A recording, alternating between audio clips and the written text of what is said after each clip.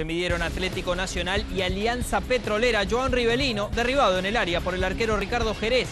Penal para el verdolaga de Juan Carlos Osorio. El encargado del remate y del gol, Magnelli Torres. Toque suave, partido 1 a 0 para Atlético Nacional, que tendría otra oportunidad clara, porque va a llegar este centro de Farid Díaz.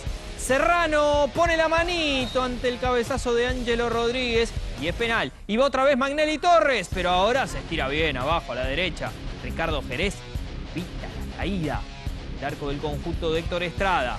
La habilitación tras la respuesta del arquero Jerez para Michael Rangel en el área y el atacante así definía ante Neco Para el empate parcial, gol de Alianza Petrolera, desborde de Pajoy, centro, el remate de Bilder Guisao para adelantar otra vez al Nacional de Juan Carlos Osorio en este partido disputado en Guarne.